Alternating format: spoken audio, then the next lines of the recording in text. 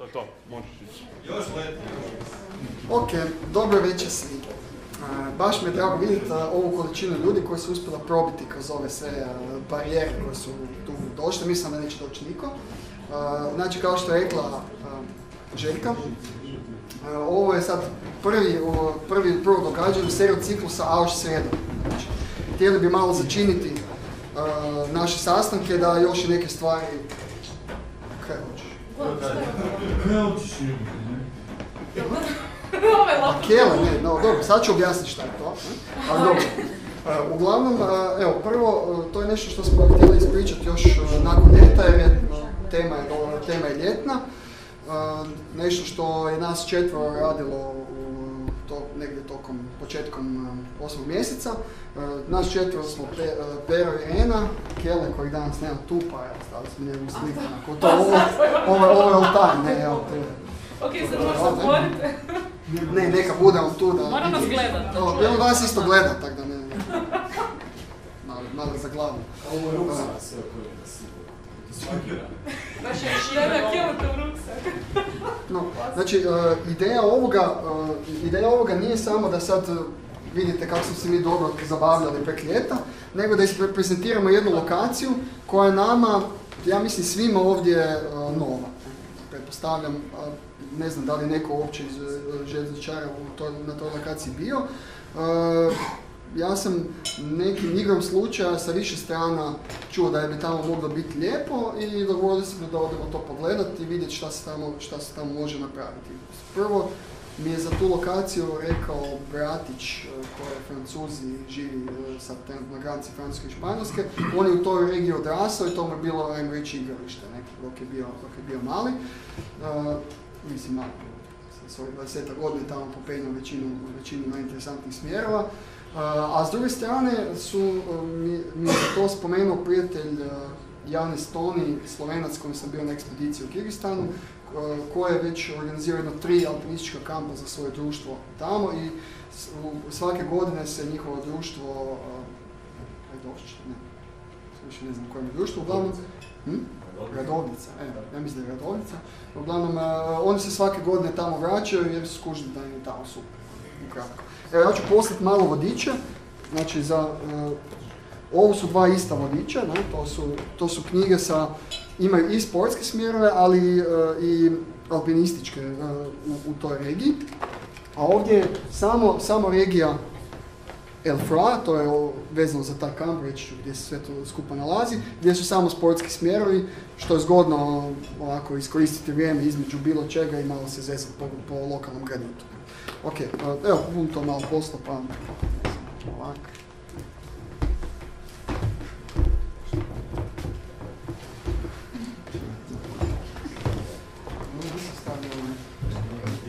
Dobro, e pa da počnemo. Dakle, E, gdje se to sve skupa nalazi? Znači, e, ovo na slici je Bar de Kran, e, to je jedan od najzapadnijih i najjužnijih četiri-tisućnjaka, visokih 4102 metra i on je na neki način, to je najviša točka tog cijelog masiva i po njemu se zove... Alo Rašica. Alo Rašica, Rašica. Dakle, to je, po njemu se zove cijeli masiv, masiv ekran. Regija je, se zove Dauphinea, a ne znam kako je to, područje je Ozan. To se tako nekako čita. Pa čisto da imate te pojmove ako naletite, kad googlate, to piše vodiče Ozan. Znači gdje se to nalazi? Znači kad se ide prema Francuskoj, Torino, Briançon je ulazna točka, recimo najveći grad u tom dijelu i ova regija, evo Bar de ova zona, to je znači, ajmo reći nekih 2,5 sata vožnje tu od mora, oko 9 sati čiste vožnje, ja mislim da tako nekako bilo, od, od Zagreba i to je, to je ta zona uglavnom tu. E sad, ovo je taj masiv ekran koji, koji se sastoji od nekoliko tih grana, planinskih planaca i tako dalje. On je penja, u penjačkom smislu a vjerojatno i planinarskom je podijeljeno u dvije zone. Ova istočna zona je zona gdje smo mi bili i to je ona je locirana, to je istočna zona, locirana oko područja Pelv i mjesta El Fla, odnosno to je, to, je- to je tu negdje. A, a ova druga zona se locira okolo, oko ove doline Izer i mjesta Laberat. To su recimo dvije zone i dva vodiča postoje za jednu i drugu zonu. Uh, ja kad sam to u početku gledao, zapravo me više interesirala ova zona, uh, ali uh, ona je zapravo dosta problematična u svojoj pristupačnosti. Znači, jer zapravo se tu treba obići cijeli masiv i doći tu, to je gotovo barem 3 sata vožnje više nego, nego ovdje, a pogotovo ako se hoće odavde promijeniti u, u, pola izleta zonu, to je barem 5 sati vožnje, znači to je, to je stvarno značajni komad vremena. Mi smo se uglavnom htjeli evo, za početak, uh, ova zona je puno pristupačnija. Ova zona uh, PLV-a je na neki način više, ima više elemenata civilizacije, postoji kvalitetni kamp, dućani su pristupačni, uh, stvari nekako više, više bliža civilizaciji, dok je ovo više divlje i tu ima samo nekoliko možda eventualno neki dućančić, dom i neki mali kamp. Uh, po pitanju nabavke, ovdje tu se treba sve unaprijed napraviti, ali ova zona je alpinistička puno, alpinistički puno interesantnija. Evo malo čisto kao uvod šta tu sve ima, ne recimo najpoznatiji barijera Lamiš. Um, ovdje se nalazi, evo da vratimo ovdje, evo, Lamiš, pristupa se odavde. Uh, sa vrlo poznatom ovom uh, prećenom grebena Lamiš, to je jedna, vrlo interesantna tura i nizom smjerova u toj, cijeloj barijeri. Uh, Smjerovi su oko, oko 1000 metara tu. Uh, I nešto što smo mi gledali, sad se baš najbolje ne vidi, ali Agidi Bona, to je jedan od najatraktivnijih vrhova u toj zoni, koja um, obiluje u prekrasnom granitu uh, niz, niz smjerova po ovoj, po ovoj južnoj strani. Ono što je zgodno, evo dom, dom je, ako ga niste skužili, je tu. Ne? Znači, ono, probudite se i ravno u 600 metarski smjer po savršenom granitu silaza, tu par apsala, ne, par apsala ovdje i ovdje sve prošeće do dole. Znači, jedna, jedna ovako super, super lokacija.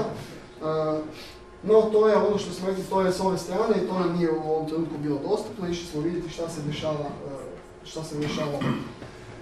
Prva, e sad, uh, ovo, ova slika govori o našem dolasku tamo. Znači, postoji jedan dekatlon u Brešći, ako se ne varam, koji se inače moglo direktno s autoceste, bez da se izlazi s autoceste, ući ravno uh, kroz neka vrata u dućan, ali ta su vrata zabili barikadirani, onda smo mi ovako malo ovaj,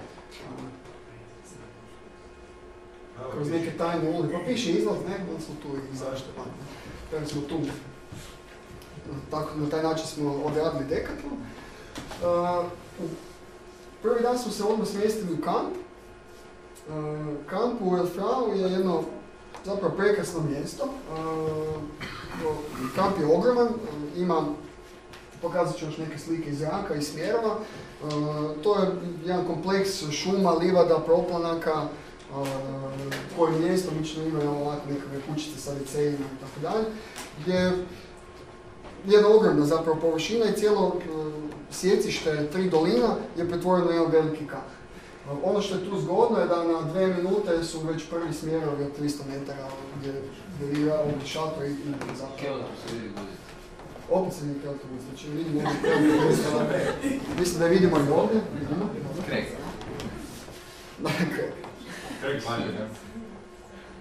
Dobro, no, uh, mislimo mislili smo se u kamp, ali zaključili smo da bi za početak uh, naše, uh, naših izleta i tura, da bi, da bi ipak odabrali najambiciozniji cilj. Imali smo oko, oko četiri dana lijepog vremena, onda, je, onda nas je čekala jedna ciklona koja je trebala trajati oko dva dana i zaključili smo da najbolje da odmah, odmah krenemo prema Bardi Kran, to nam je bio, ajmo reći, najambiciozniji cilj koji je zahtijevao neke više dnevne aktivnosti. Uh, I uh, Kele i ja smo se odlučili na, uh, na traverzu uh, zapad-istok uh, vršnog grebena Bardi Kran. To je, o, ima dijelove 45 do 50 stupnjeva uh, snježnih, uh, snježnih i, miksanih uvjeta. Ocjena otprilike 3+, B plus je težina. Uh, o, relativno lagani, uh, lagani, lagani smjerovi, ali je na visini i, i dosta je u tom, u tom smislu dosta. To otprilike ovako izgleda. Bar de se e, diže 1000 metara iznad ledenjaka. Iznad ledenjaka sa, sa svojom sjevernom stijenom. I ovaj, taj greben, to je ova žuta linija. Opa. Znači to je, to je ova žuta linija koja se ovdje odvaja sa normalne rute i ide, uh, ide preko, preko vrha, se spušta dole i nazad, na, nazad. Na karti to izgleda ovako, ovdje smo stavili auto, to možete vidjeti tu. Zatim uh, planinarenje, tu smo uh, ovaj dio puta smo išli svi zajedno do, do doma. Znači to smo već odradili uh, drugi, drugi dan, nakon što smo se ujutro naspavali, pripremili, drugi dan smo lagano prije podne krenuli i popeli se do, do doma. Nakon toga je slijedio uspon koji smo radili samo Goran i ja, dok su Irena i Pero radili neke zanimljive ture oko ledenjaka i po, po okolnim tu uh, padinama. Uh, I slijede nakon toga u istom tom danu skroz povratak nazad, nazad u. Ta- tako, je, tako je bio naš plan. I evo, tu smo. Možete vidjeti uh, kako svježi orna izgledamo na početku, pa možete to usporediti sa slikama kako smo izgledali nakon svega toga. Pristup je onako teška idila, uh, široki put, uh, svi skaču oko vas, cvijeće, potočići, slapovi, jezerca, onako stvarno, stvarno jako lijepo. Mogli smo ih čak i dirati, ali nakon toga su. Možete vidjeti ovdje, recimo, ja sam se odlučio da ne nosim nikakve tenisice, pa sam pristupao u, u svojim uh, snježnim plastičnim gojzama, što je bilo dosta udobno pogledi na okolne vrhove, ovo je, ovo je Mont, to je, to je vrlo interesantan posebno za zimske smjerove. Vrh koji u svojoj u ovoj stijeni ima, ima niz zimskih smjerova, koji su po zimi su vrlo atraktivni. No, put ovako nekako izgleda, vrlo, vrlo udoban put. I negdje u, ovom, u ovoj zoni kreće, uh, počinje ledenjak po kojem se onda ide dalje poziran. I ovakve scene su, nas konstantno pratile. Ne? Gore nekako iz kojeg se slijeva slap, o, tu se može i popiti vode i sve, lijevo je kojeg isto teku slapovi. Ovo je jedno možda od najovak pitoresnih mjesta na, na cijelom tom mjestu, ovak mala visoravan sa, sa jezercetom, sa pogledom na okolo brda, eh, gdje se može i, i, zakampirat, eh, odnosno ne zakampirat, nego recimo prenoćit eh, to je dozvoljeno, kampiranje nije dozvoljeno. Mm, Ima s- svježe vode, onako jako, jako, jako zapravo ugodno mjesto. Evo, sad smo na, na istoj slici. Ovdje je zaspuk. To je zaspuk. Jel? Živ.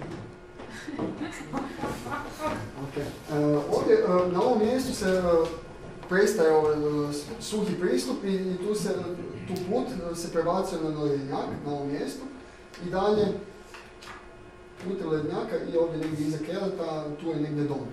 Znači tu, to je taj dio sve skupa traje oko, oko 6 sati tog pristupa. Evo tu se navezujemo na, e, na uže, Kele, ja, Irene Pero, tu smo imali malo, mali tečaj za, za ekipu kako kak se radi ledenjački navez, kako se hoda po, po tako da, da smo imali toga edukativnog dijela i krenuli smo po ledenjaku prema, prema. U prvom dijelu ima stvarno puno, puno špalti, ali je bilo relativno sigurno, pošto je bilo to duboko ljeto, sve su bile otvorene, vidljive i stvar je bila relativno, relativno tu sigurno. No, to prilike ovako izgleda. Evo, tu, tu smo već došli blizu doma, dom se nalazi ovdje na ovoj stijeni i tu se vidi ta sjeverna stijena koja nas je čekala za sljedeći. Dom izgleda ovako, stvarno jako, jako udoban dom. Um, sa relativno jeftini smještaj, mislim da smo koliko, uh, sa iskaznicom uh, smo plaćali 13 eura spavanje, znači to je u odnosu, u odnosu na, ne znam, ove neke talijanske, švicarske domove gdje to zna ići do 40 eura sa klopom, ne? znači bez klope, ako se može dobiti bez klope, to je minimalno neki 25 30 eura. Alpe Franjisnica. KP su ništa. Koja je visina doma? Dom je 3100. S tim da spavanje podrazumijevaju do dva ujutro kad opala alarm onak žešći i to je to.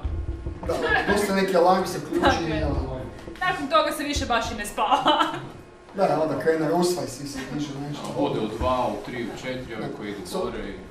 Da, s obzirom da ova, ekipa je išla iz kasnije šetom, oni su se odlučili na pa su morali pretrpiti cijelu, situaciju. No, e, uglavnom, dom je stvarno ugodan, ekipa je simpatična. Ono što je zanimljivo da za one kojima se ne da pla, plaćati kuhnje, ima čak jedna mala kuhnica gdje, gdje si mogu sami sa strane nešto pripremiti. Znači, za razliku od nekih domova gdje vas se ono potjeraju vani i u krugu od 100 metara doma nema ni, ničega. Ovdje smo imali kuhnicu, to nismo u početku iskužili, ja sam kuhao vani, ali kad smo skužili to, pa smo upravo suđe barem unutra.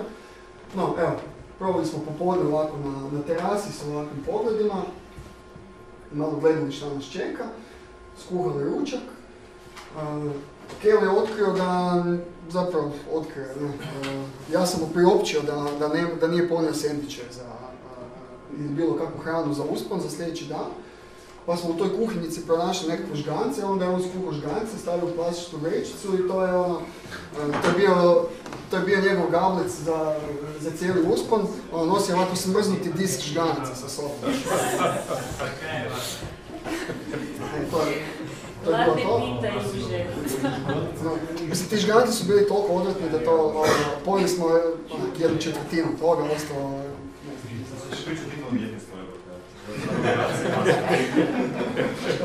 I sad, Našli svinjsku glavu na tamo.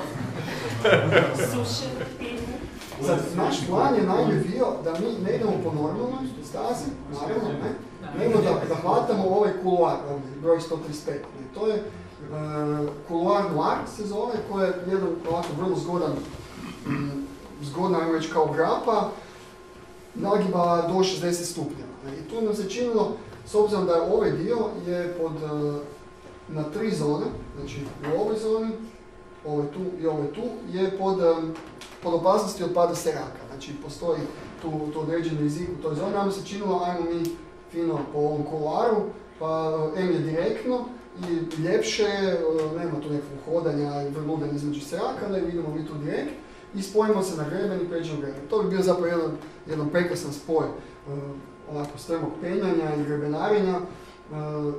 To se činilo kao izvrsna ideja, no u domu smo saznali da zapravo u to vrijeme doba godine se taj kuloar odsavjetuje zato što je led u jako slabom stanju. Stvarno mi kad smo došli ispod smo vidjeli da veliki dio je u suhoj stijeni, da, da se stvar raspada, da nije baš e, ne bi bilo baš toliko sigurno i ugodno za penjanje, tako da smo se pridružili ostaloj ekipi po normalnoj ruti i tek tu, zapravo, mi smo se tek ovdje odvojili na greben, s obzirom da se raspored ovih pukotina bio nešto drugačiji nego ovdje. No, mm, to je taj greben i e, tu je trebalo e, preći preko, preko Bergšunda, pukotina i na neki način smjer kojim smo mi išli je bio ovako, išli tu, ovdje, tu gore, tu na greben, tu na greben i onda skroz po grebenu do vrha. To. E, to, je čisto ovako slika odavdje. Kretanje je oko dva noći. E, krenuli smo zajedno sa ostalim ekipom. e, e, malo smo udarili brži tempo, tako da smo bili jedno pola sata ispred, ispred ostatka ekipe. Hm? Kele, Kele je dobar, dobar tempo smo udarili i evo ovak tu negdje na visini od oko 3700 metara smo dočekali izlazak sunca. Tu vidite, ovaj prvi sljedeći su negdje ovdje dolaze, neki su još i ovdje. To je još konak koji se čekao, ovo nam se nikako nije sviđalo, tako da smo tu stvarno brzo, brzo smo tu prolazili, tu se vidi isto da u nekim trenucima se neke stvari kotrljaju dole, to mi nikako nije bilo drago. Tu smo napravili pauzu na jednom mjestu, ja sam nešto malo popio, popio čaja, Kelo je obavio kaj je trebalo obaviti, s druge strane možeta, ne? A, Evo ga tu, pod izlaskom sunca, ne? E, Dok, dok na tom trenutku su nas već počeli sustizati, sustizati ostali. Da, skotrlja se i u špaltu. No, uh, izlaz sunca, ono, ono što je meni ovdje bilo jedna fascinantna stvar kada, kada doživite ovako visoko izlazak sunca, to je neki onaj posebni doživljaj, ali možete primijetiti kako je horizont negdje na ovoj liniji? Tu vam negdje horizont, a sunce na neki način izlazi ispod horizonta, ne? jer vi zapravo kak je kugla zaobljena, zemljena, ne? vi vidite, horizont vam je uvijek nekak ravno u odnosu na vas, ne? On, horizont nastaje horizontalno, a sunce vam izađe malo ispod toga. Taj osjećaj da zapravo sunce izlazi ispod vas je nešto što je onak stvarno super. To je neki posebni osjećaj da on, sunce ispod vas, ne, nikad to ne nešto živi. To je stvarno jedan lijep, lijep, lijepi doživljaj. I tu se sad skupila ostala ekipa, imali smo tu malu pauzu prije nego što se mi odvajamo na onaj lijevi dio na greben, a oni idu po normalnom putu. Mi smo kad smo mi gledali taj dio desno oko, to se čilo, njima će trebati godina, mi idemo direkt, kao mi ćemo biti brzi. Ne? Ali vraga, ne, taj greben nije baš bio tako jednostavan, tako da kad smo mi došli na vrh, više nikom nije bilo, oni su sve to već obavili. Da, kroksice, ne, šta su te kroksice, ne? Naime, nisam ih htio stavljati u domu, uh, zato što bi se morao penjati nakon uh, toga do domu. Uh, onda sam mislio negdje ću ih staviti po putu, onda sam na kraju zaboravio staviti po putu, ostalo sam na ruksak. Onda kao, kad su već došli do tud, onda kroksice idu do vrha. Pa smo tu fotkali, ja, da se- se Znači, od mjesta gdje smo se odvojili, nakon što smo prešli Bekšin, slijedila je ta padina od tako negdje 50 stupnjeva, tvrdog alpskog leda u kojem je bilo dosta, dosta teško zabijati. Uh, nešto, osim, dosta rijetko smo se suboravali jer je bilo re- relativno lagano, uh, ali smo radili, radili štandovi svakako. Uh, istovremeno u domu ima jedan neki super teleskop i Pero je tu prislonio fotić na ovo, sad tu možete vidjeti, to je ta ista scena, Kela je ovdje, tu ide uže, evo ja sam ovdje na prvom štandu. Znači, to je- to je zgodno bilo to, evo to, tu sam ja prvom štandu gore. Iza toga ide malo, ovak mišovitog terena, ovdje još uvijek je to bilo koliko toliko po snijegu. Evo sad je to ovo, ne? Kele je tu, ja sam sad negdje, ne znam, tu.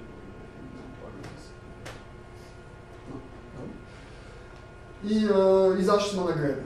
Tu sam na, na grebenu je bila, bio teren zapravo nešto, nešto teži, jer je, greben je zapravo jako oštar uh, i trebalo se držati sa, zapravo sa ove njegove strane, uh, ali taj dio je bio dosta krušljiv i onda uglavnom je išao, taj dio nam je išao dosta sporo i tu smo počeli već osjećati visinu. Znači, uh, onako, ostavili smo malo bez daha, išlo je to, to polakše. Nismo htjeli, nismo htjeli solirati taj dio upravo zbog toga što je stvar bila dosta krušljiva, tako da tak izgleda taj. Dio. Uh, vrlo eksponirano, uh, estetski prekrasno u smislu pogleda i uh, um, vizura na, sve strane.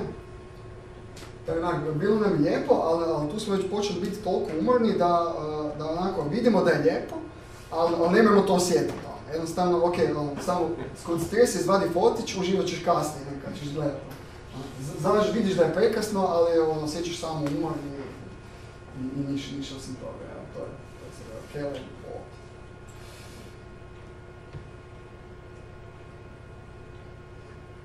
Tu još par fot- fotki s tog vremena.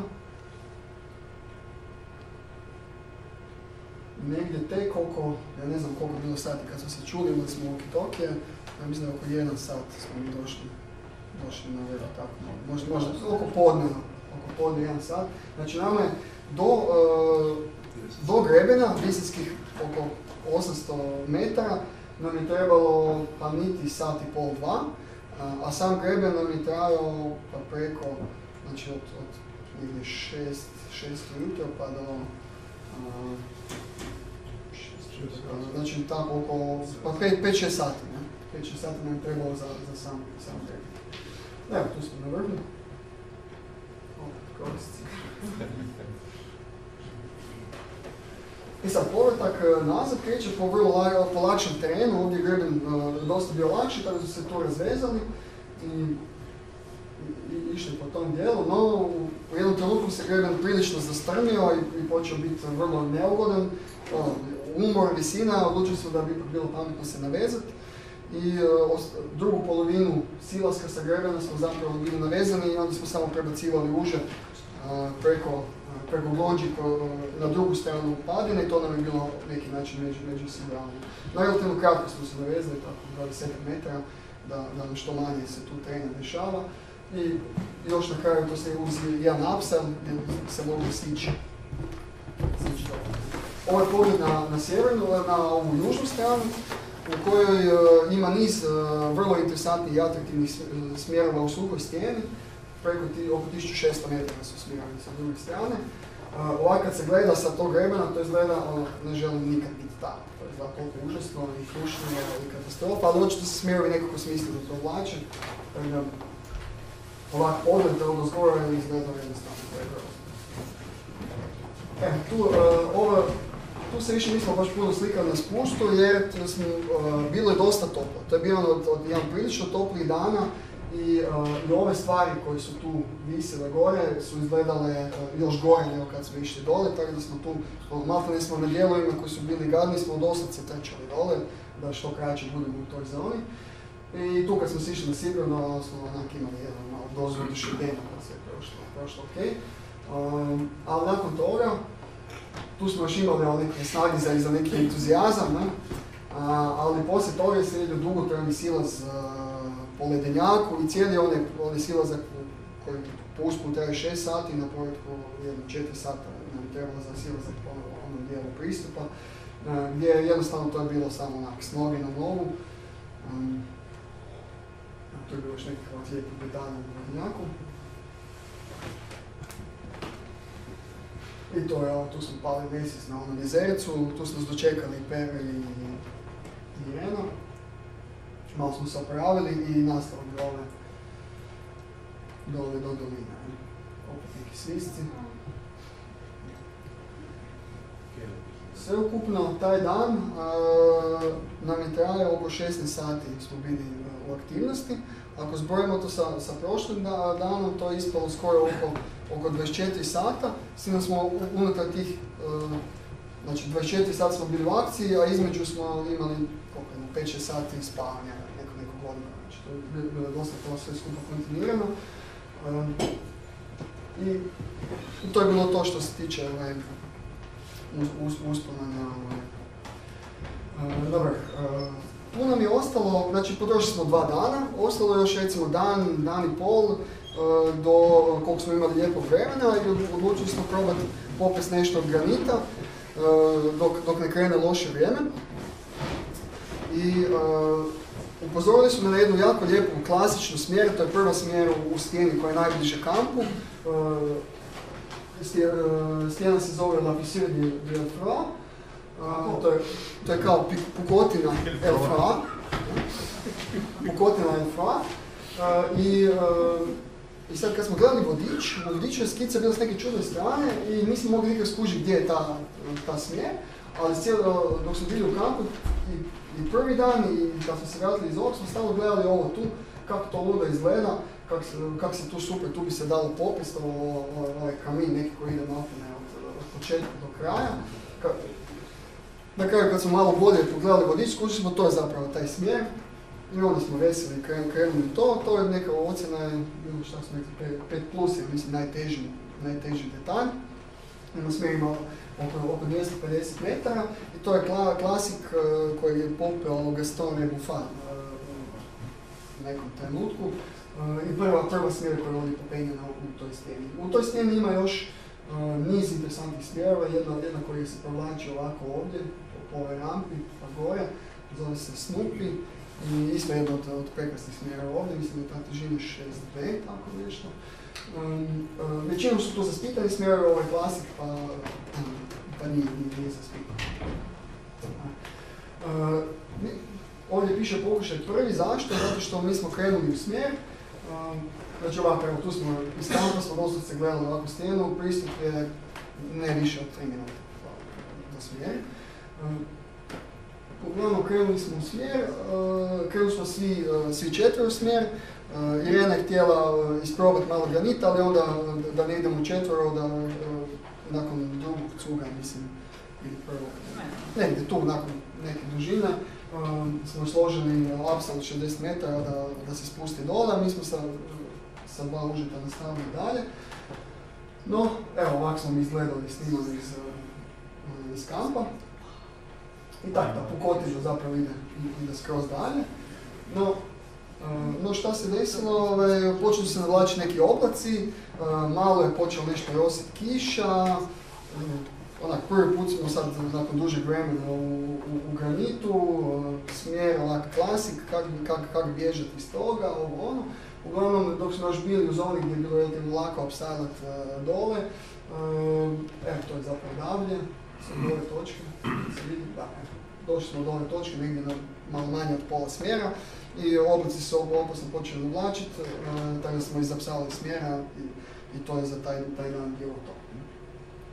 E sad, kako je počelo biti ružno vrijeme, mi smo još taj dan i nešto sljedeći dan smo malo penjali sportiće na granitu, da, da još malo osjetimo taj granit.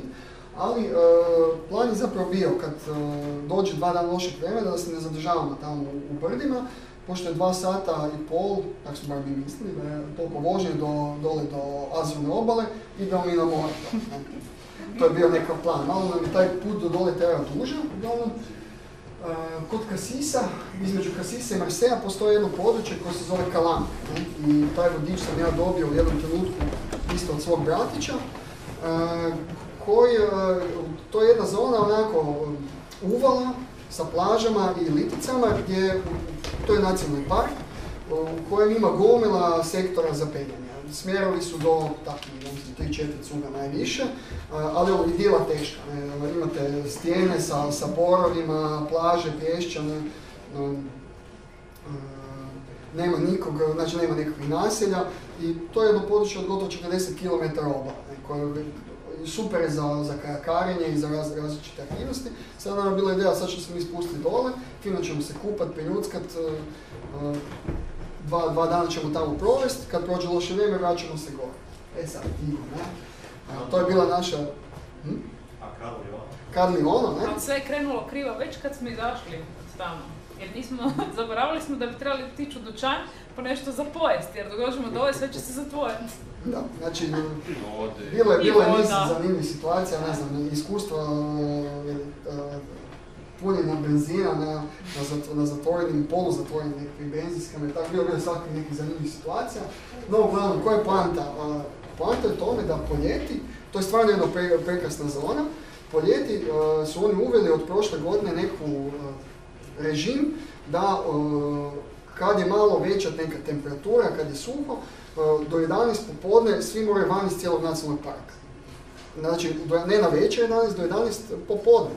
Znači, čim počne biti malo toplije, radi zaštite od požara. To je neka fora. Od cijelog tog 40 km ljudi onak ušeću na prvu uvalu, ne, tam se nagruvaju i ono, u 11 dolazi patrola, neki brod, e, ekipa e, rangera, on, ajmo svi van, ti obuci gaće i, ti tamo, ajde, skloni taj ručnik, šta ti još jedeš, ti vadi, iz- izlazi iz vode, on, i ono, tjera ekipa. I to non stop, stalno obilaze i ajde, ide, izađi van, onda lik ode plivat bez veze i deru se za njim, van, van, a on nećemo, ekipa pliva pa se vratimo pa No, uglavnom, ali ono, negdje u 11 i nešto, oni potjeraju svoju ekipu i imaš kolone ljudi koji, ono, U kojoj su fazi vas tu? No, uglavnom, mi smo došli tamo, prvo, prvo smo došli na večer, ne? Zatekli su nas u fazi kad smo se spremili sa full camp opremom, sa svim za... Skuhalima na benzin, sa svim, sa svim su imali po par vrećica hrane i ono kao slučajno, kao, a di vi idete, vi bi trebali u 11 izaći van. Zašto? Kao, pa možda su nas kužili da ćemo kampirati, jer se naravno tam ne smije kampirati. Ali nisu nas kužili, bili su dovoljno pristojni reći samo da do 11 smijemo biti tamo da bi se onda trebali pobrat van. A na kraju onako nježno kaže ali neće kapirati, mi zabranili smo. Znači, da nas ne uvrede, onako, tak, tak su bili onak, e, ono, baš ono, dragi, ne, da, da, da smo rekli s guštom ćemo se pokupiti u 11, no jer smo pomagali tjerati ljude. Zaboravio sam da smo noć prije proveli na cesti. No sad, to je bila jedna tema, je bila znači da mi smo ostali smo bez e, mjesta za spavanje, mjesta za penjanje. ne. To je bila prva. E sad, mi smo zapravo došli tu u Kasis, to je ovaj Kasis i tu počinje ta zona prema Marseju na zapad. I sad prvu noć, bit ćemo o spavanju, ono, vidiš odmah znakovi, 200 eura kazne za spavanje tamo, ranger i ovo ono. ono di ćemo uopće spavat? Kamp? Krcat, ne. Ima neki kamp, e, ono, koje izgleda kao neki lover, onako jedni na drugima tamo, uz razliku od ovog uh, brdskog kampa koji je ono na zemlji, super, ne, ovo je onako svaki ima svoju ono, čelicu i ajde. I sad mi tu smo našli neku komad koji nije nacionalni park, ali ide nekakva cestica prema negdje koja je van parka, ne, i sad di ćemo tam spavat, nema niš javno, na kraju onak, ono, malte ono kolo trazimo od ceste, tamo, od Makadama, nekak smo, ne, tam smo se negdje smjestili. I kak ti joj, idemo, sad ćemo mi tam prespavat, ali ono, ajde, barem, ono, neće valjda biti kiše ili nešto, i ono, usred, usred noći, ono, ko za vraga i tu je neki oblak došao i, i počinje kak ti neka kiša. Sad mi se dižemo tamo, ulazimo u auto. Nas četvero, auto je ono, bio krcat stvar, ono, pokušavamo spavati u tom autu. Pa ne, pa onda Kela više ne može u tom autu, ono ode van spavat, nakon 15 minuta opet počinje kiša. Znači, znači ono, jedna agonija teža, ne, i sad ujutro, ok, ajde, došao je dan, ajmo kupanje, sad idemo se samo kupati u je super. Ne. A onda skužimo da nismo baš dovoljno vode i da bi uopće došli negdje do vode, trebamo otići u grad. Kada se maknemo s parkinga, on dolaze ljudi na plažu, ono, parking je mali za, ne znam, 50 autiju, ono, Nećemo više Znači, naći ono, mjesta. Nećemo naći mjesto, znači nemamo ni do vode doći, ono, nema kupanja, nema penjanja, nema vode, ono, hrana, ono, znači ono, ono, borba za goli Sve život. samo išlo na- Niste još hitno stavili ono, ne, na park. Jesmo, e, čekaj, Znači, to, to je otprilike tako ta zona izgleda, jako sve to lijepo, ne? Znači, ovo je spavanje po noći, ne? to je bilo to, e, prije kiše, ne? Evo, Moj, moj, Iza lica kao, fuck, kaj ćeš tu staviti, kara ovo, ne? da, da, da, sve dok niste vidjeli I sad, dugo. evo, odlazimo s parkinga i balkanske metode, nađemo neku ogradu i onak na sad bolje na parkingu. To, to je bila bal- balkanska metoda jedna. Naravno, mi se vraćamo nazad, nema ograde, ono, kantova su nas, nema mjesta, sve je puno, ali imamo vode, ajde, ono, vodu smo zabavili, ne. Kupili smo, smo skupili neki tam dućan, ne, ali dobro, imamo vode. Sad, negdje po, po, pu- i vraćamo se nazad, nemamo gdje parkirati, i ono, balkanska metoda 2, ne, tu je neka bauštela, nešto gore, neki parking, i sad ono, Kele našo kamenje neko i ono, gradimo parking, ne. Tako smo, sagradili smo, popunili smo neke rupe i napravili si parking. A, To je ono, balkanska metoda 2. A, Dobro, okej. Ta isto nije prošla, ono, dobili smo kaznu od uh, 150, ne, koliko, 100, 120 eura. Ono, sve je išlo dole. Dobro, ta kazna još, još dan danas nije došla, ne? Doći će tadašnji vlasniku auta koje je roditelji od uh, bratove i žene i tako dalje, ono, ono, katastrofa. No, uglavnom, e, to još nije došlo do dan danas, ne? Ali ta balkanska metoda je slabo prošla, ali uglavnom tu, tu smo mi onda odlučili, idemo mi na plažu, ne? I negdje ćemo otići, uh, zabit ćemo se negdje baš nas briga, kampirat ćemo, neće nas skužiti, ne? I to je bilo... Nisam još nije splasnuo. I, I tu je sad ta scena mi sa ruksacima, ono Pero, mislim Pero ono malo nema dva metra, njegov ruksak je bio još 40 cm iznad. ne? Kao idemo na plažu. Ja idem na plažu, a ostane onako u torbici, šeširići, ne znam šta, ne? I naravno ono, mislim, ok, sve je očito, ne? No, uglavnom, evo, tako izgleda plaža, ljudi se, pa da, u 11 sati, ajmo čeranje, ajmo ne? I, I onda kolone, izbjeglice, ono. Tako da, ono, u 11 sati smo spotijeli van. Um, tu smo malo, uh, dobro, to je bilo zapravo sljedeći dan, uh, ali ovaj dio, znači, ajmo reći, tu se nešto vidi. Uh, tu smo imali auto, uh, tu je negdje iza ta plaža, a ovaj poluotok zapravo nije dio nacionalnog parka i to je neko gradsko kupalište. Onda smo mi tamo, ajde, ono, kupali smo se tamo nešto malo, neki, nešto malo deep water solo. I uh, sljedeći dan ujutro tu smo još malo uh, se preljuckali po nekim sportićima koji su, bili blizu, ako ne više, više posebno. Pa, lijepo, ne? Zgodan je pogled Ovo je sad taj poluotok sa druge strane gdje, gdje smo proveli cijeli pr- prvi dan uh, popodne i, veliki dio drugog dana smo se to kupali, malo mi potri solo koji su stjenama i tako malo ajde došli k sebi. Na povratku, ono, Kele, njegova misija je bila ono, popis nešto u granitu i otići u patiseriju i na krkac iz kolača. Ono, cijelo vrijeme na patiseriju. Kad smo vozili nazad, onak malo smo se mijenjali, ne, ja njemu dam volan, onako ono, ne znam, 50 km, ono, bum, patiserija. Uglavnom, tu smo probali te dobre kolačiće. I e, to je bio zapravo e, povratak nazad iz Marsella. Znači, to je bilo ono, maltene, ono, borba za, za goli život, ali ajde, malo smo se okupali, pa to je bilo to. Izbjegli smo uh, nevrijeme, kišu i truljenje u šatoru, pa ajde, neki koristi od toga, možda. No, um, e sad, kad smo došli nazad, zaključili smo, moramo završiti ovaj početni uh, projekt i budemo se popis po, po Pukotini. Uh, ovo je sad uh, malo više iznad, ne? Tu u jednom trenutku se u tu Pukotinu vuče skroz unutra i iznutra se kroz nju izlazi van, onako vrlo jako, jako egzotično, ono pogled, evo tu se vidi kamp iza, ovaj kamp, ova brda, neka brda iza, nebo tako, ono, jako, jako egzotično, ne? Evo, perlo u Pukotini, tom dijelu gdje se izlazi van. To je recimo, ajmo reći, nastavak tog, tog dijela smjera.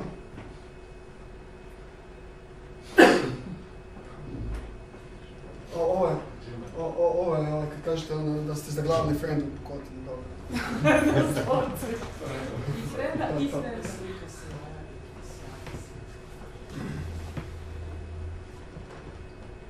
I tak, smjer, smjer zapravo po toj pukotini ide konstantno, ovdje se zaobiđe ovu lođu i ovdje op, op, onak vrlo logično izađe van. A ovako, na zgodnog, zgodnog bilja se nađe smjer, malo lakirnosti. Još ovak neki detalji. Ovdje je zapravo detalj smjera, nije ništa, ništa, ništa teško. Načelno su tu ocjene e, u granitu koje, ne znam, ste gledali malo po vodiču, relativno su lagane. ne. Osim što taj granit ima genijalno trenje koje, ono, mi smo navikli da, da možemo se tako dobro osloniti na neke, neke strme stvari, ali generalno ocjene su onak nešto mekše nego, nego kod nas, a posebno nego u Alpama. reći da smo tu u 5 plus smo se osjećali kao, ja bih rekao, ono, neki, pa ne znam, ja bih rekao da je to bilo kao neki 5B, 5A, ili tako nešto. Ništa, ni- ni- ništa teže. Kad usporedimo kako nam izgleda 5 plus u Alpama, to, to, to nije to. Ne? I jako lijepo, pen- granit je on savršeno kompaktan. E sad, uh, ovaj, uh, ovaj jedan kolaž iz vodiča, ne, to je čisto mala digresija, ne, skužili smo da, ono, da, da Francuzi ovaj, imaju neku ono, uh, tendenciju ekscentričnim fotkama sa ono, svima neke nakošene kacige. Ne? To nam je bilo užasno smiješno, ne? pa smo ono odlučili malo pratiti taj stil. to da da, ono, da se malo aklimatiziramo, da se sjećamo kao francuzi. Ne? To je ovako malo digresija u smjeru, ovo je izlazak e, iz, e, iz smjera. Kele, pero, opet kele, opet kele. A, Kele, dobro. Ja sjedim zihom s drveta gore. I to je to, evo, izlazim na, na drvetu. Kele i pero, izlazim van. I opet, smjer super, izađete van, gore proplanci nekakvi, e, po šumarcima, uski putić, e, ono, žuta travica, niska borova, šuma rijetka, ono, silazite dole, ono, stvarno, ko u nekom malom raju. Ne znam kako si ti uspjela, ali kako si roga ženta. E, a jeste ostavljali kad ste prvi put Mhm. uh, apsajali smjera? Jeste imali na nešto apsajlat u smjeru ili ste morali ostaviti svoje opreme? Bilo, Bilo je. Šta je Na, bilo? na, na štandu, ne, ja se ne sjećam šta- je štand. bilo. Bili su štandovi, ne, na svaki, svaki put kad baš u štandu je uvijek ili neki dva klinac, na, našao sam nešto, možda čak neki Na prvom mjestu su na štandove bile ispitane, to je dan. E sad, e, to smo iskoristili jedan onako malo da- dan koji je bio promjenjiv, i slijedio je neki četvrtak u koji, koji je bilo savršeno vrijeme. Znači, znali smo to je super dan, to je dan da napravimo uspon izleta, to je to. Sad smo gledali šta bi tu bilo, htjeli smo da je nešto dugačko, da, da nije preteško, tako ovo. I onda smo tu odabrali u ovom jednom, znači ovo je fra, Pardon. Znači, to je fra, to je kamp u ovoj zoni. E, ovdje se smo išli na, na Bardi Kram, u ovom dolini. Tu je još jedna e, e, ve- velika zona Ban, Bans, ne? To, ovdje, e, znači sve ove, svaka dolina ima svoj, svoj cijeli, zapravo cijelu pe- penjačku dolinu koja je interesantna. No, mi smo tu skužili da, da nam se sviđa ovaj tu Tenaj, kako se zove ova zona, i da tu ima nekakav smjer koji je dugačak neki koliko je, 400, ne znam pojma, 350 metara, e, težina negdje e, 5B, 6A, ne 5B na 0, 6A, kao to bi moglo biti super. Ne? E, I kao, rezervirali smo dan za to, sve pripremili se, kao, spremni smo za to. Ali, kak je sad to išlo? Opet sve krivo. Za početak, iz nekog razloga ja sam zabrio da taj smjer ide ovdje, a on zapravo ide, ide ovdje. ovdje, ne. Neko, kad sam gledao vodič, nešto mi sve mi se to zbrkalo, uglavnom, a, za početak smo pristupili tu i potrošili barem sat i pol više da dođemo ovdje, da bi skužili da to nema veze s vezom, s tim da i tu su bili neki penjači, ali to je bio neki sasvim drugi smjer. Tako da smo onda odlučili, ajmo mi do ovog smjera. Već, već tad je bilo pitanje koliko mi vremena imamo za to. Uh, u međuvremenu je Per skužio da je zabravio kacigu. Uh, tako da onak stvari su počeli objasniti ići krivo. Onda su slijedilo neko prečkanje ovdje, bar ajmo skužili gdje je smjer. Ovdje isto smo prečkali po tom padinom, što je bilo ono užasno neugodno, neka jedna strna stvar. Ovako neka, neka situacija. Ne?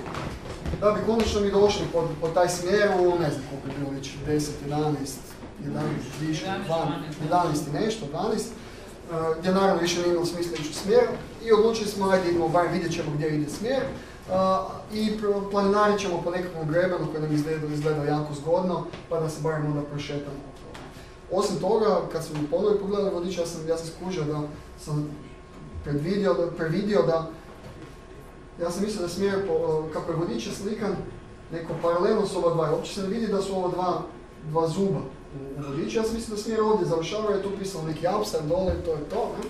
ali zapravo smjer ide još dalje, tu je nekakav 6B, nešto još dalje, onda smo rekli, ok, ovo je to, to, to smo zabrijali, sve smo nešto krivo vidjeli, A, ali bilo je dosta penjača u tom smjeru i izgleda stvarno ja- jako atraktivno, posebno ova stijena lijevo,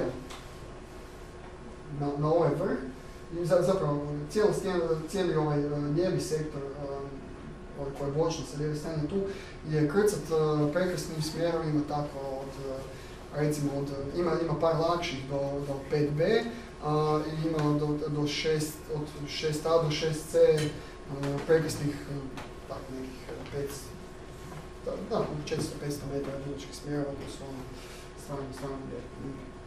Uglavnom, to je bilo to. Mi smo odlučili se malo prošetati, to opet teška ideja. ne. Znači, tu gdje god se maknete negdje nešto, to je ono, kao da ste u nekom god, onak, mali uski putići, travice, životine, evo, tu smo, tu smo letili u stazu, u stazu, stazu lovaca.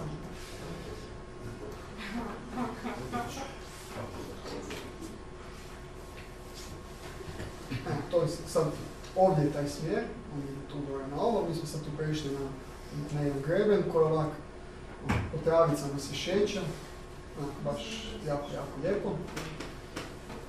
I tu da smo onda se lazili dole, dole do auta. To su ovako neke scene. Na jednom mjestu se otvorili lik, ovo je vidite, ne? To je, to, je, to je dolina po kojoj se dolazi u cijeli taj dio, lijepo, lijepo vizure.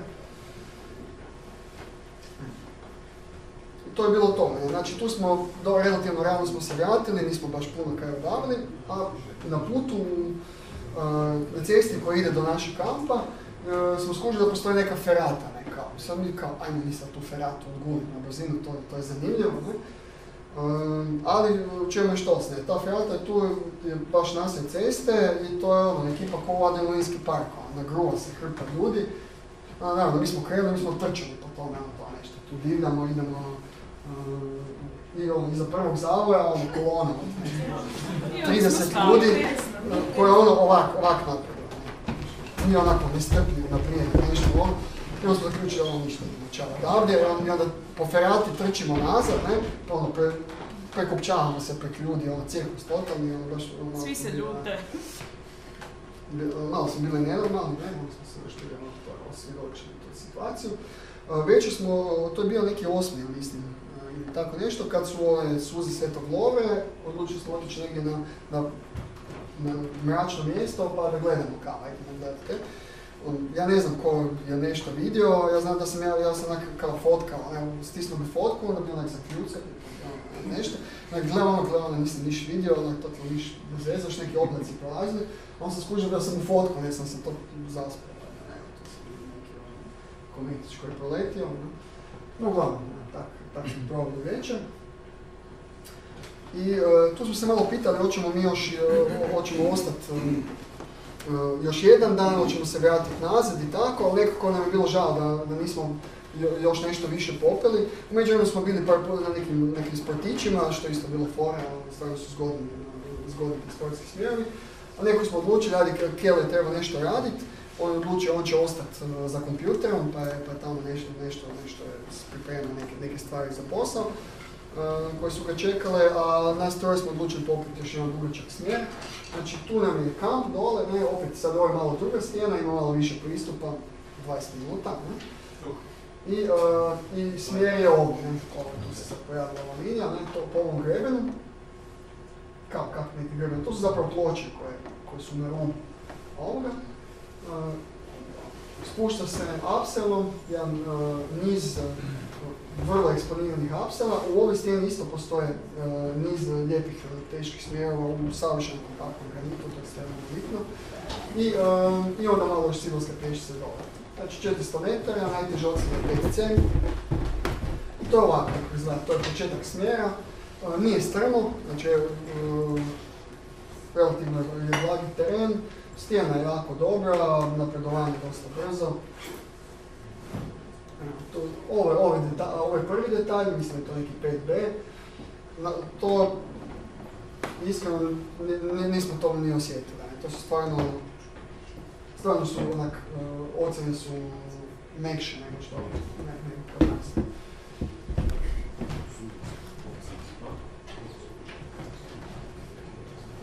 Evo.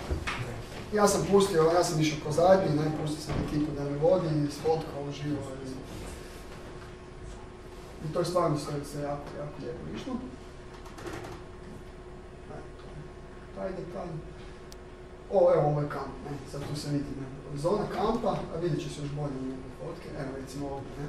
Znači, zona kampa, ovo je samo jedna livada, kamp ulazi ovdje u šumu, skroz ovdje duboko u šumu, ovo, ovo, ovo. Znači jedna, jedna ogromna površina gdje stvarno možete imati mir i uh, naći si mjesto gdje, gdje oko vas neće, uh, neće, ne, neće vam se niko nagurati i tako dalje. Uh, ovo je ova stijena koju smo penali na prvi smjer, ne, znači samo pređite rijeku i tu stane, ovo je na, ovoj strani. Znači da, evo, ovdje je cesta, ne, tu negdje ide cesta, a kamp je sve ovo, i ovo šuma, i ovo je proplanak, i šuma iznad toga, ne, stvarno ogromno, lijepo mjesto. Cijena je, ne znam koliko, 6,5 eura, znači 6,5 eura je po danu, stvarno je okej. ne. Evo, ovo su zadnji cugovi gore, Ima tople vode, interžicu. ovo je sad bilo već na Silosku, I ne, e, popodne nas je, je već tu se počelo nešto, neko, hm? Da. To Na Silosku e, malo smo se, se ubrzali jer je dola, počelo dolaziti nevrijeme, opet nekakva nekakva kiša, nešto, to se zna se navučilo popodne. E, tako da u Apselu smo se već morali obući i, i, i brisati, brisati to. Znači, eksponirani Apsel, e, doslovce onak na nekoj pukotinici, nas troje na nekoj pukotinici, to sad štand, Apsel. Ali to nam išlo relativno glatko i brzo. Imali smo jedno zapetljavanje užeta, ali ne mi, nego, nego se na vezi ispod nas i zapetili užet, pa smo to malo oslobađali. I tako. Tu ti voliš granit. Da, topli granit, ne, to vam je super. Kad, kad se granit usije na, na suncu, on drži onak, pa kroz cijelu noć možete osjetiti da je još, još onak toplo. Malo jedan, previsni dio. Znači evo to, evo to će se vidi kak ide apsa. ne. Ovo je vrh, ovak malo kosa, tu, tu, ovdje, ovdje ovo je zadnji, zadnji. Malo preko. To. E, i to je bilo to, ne, to je bio zadnji dan, ne. Ovo je sad par uh, još nekakvih uh, momenata kasnije, ovo Kele je uspio uhvatiti Slovenca u, u sjeći ilegalne šume, ne, znači radili su neku vatu, a da neki roštilj, tu je, tu je ilegalno pili komad tereta u kampu, ne. Upotrijebili smo i teleobjektiv u tu svrhu, ne, a onda se, i onda se onda iskužio da je, evo u bijegu sa drve. To. I uh, zadnji dan prije odlaska, to je bilo jutro, uh, naravno to nevrijeme nevrijeme je došlo, uh, tako da smo morali, instalirali smo si ovako rade, da, da se malo ugodno sjećamo između auta i šatora i negdje oko, oko podne, taj dan smo se pokupili za Zagreb. I to je bilo ukupno, koliko smo bili? Deset. De- Deset, oko- oko devet devet do deset dana smo, smo proveli sve skupa tamo. Znači, uh, tri dana, uh, ok, jedan dan dolazak, dva dana su bila dolazak, tri dana smo potrošili na ovu prvu fazu tamo, dva dana u Marseju otprilike, još tih tri dana kasnije, pa još dana. Eto. I to je to. Uh, što sam htio još reći? Htio sam reći da uh, nam se jako svidilo tamo i da što se mene tiče uh, ja namjeravam se vratiti tamo ponovo ovo ljeto. Pričali smo malo o tome da bi mogli napraviti neki mali kamp, da nas ide više. Smjestimo se tamo, instaliramo. Upoznali smo zonu, znamo dosta gdje se šta nalazi.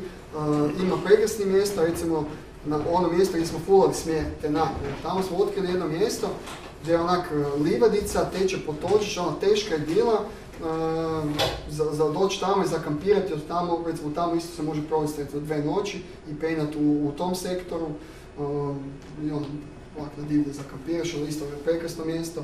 Jedan drugi sektor, to je onaj ban, ban, Bans, ne? Ban sektor, gdje, gdje ima smjerova isto po, po, po tisuću metara, relativno laganih ocjena, sa onak malo dužim pristupom, isto je- jako lijepo. Ono, Nekako otprilike znamo šta sad tamo ima i stvarno se ima šta zaraditi, evo ekipa isto iz Slovenije se svake godine tamo vraća. Tako da, evo, to je možda ovak ajde, neki prvi poziv ovaj, za oni koji su zainteresirani da, da znaju da razmišljamo o tome. Ne? Pa ćemo vidjeti. Ako se, ako se dogovorimo, mislim da može biti super. Ne? Odemo sa dva, tri auta tamo, izazancija, penjanje, ono Čekaj, svašta. okvirno su mislim. Hm? Pa to je dobro ići negdje u osmom mjesecu. ne? Tak, ljeto. ne? Kraj sedmog, osmog, to je za godišnje sa Eto, to mi je to. E, Vodič je, e, vodič, karta, i, znači ova karta i ova dva vodiča sa sportskim i detaljnim, de- detaljnim e, oko FLA i, i cijelom zonom je u, u knjižnici, tako da ono, možete to pogledati, možete nas pitati sve kao zanima. I tako, evo, jedna, jedna lijepa zona u kojoj mislim da se isplati vratiti. To je to. Ok? a, jasno?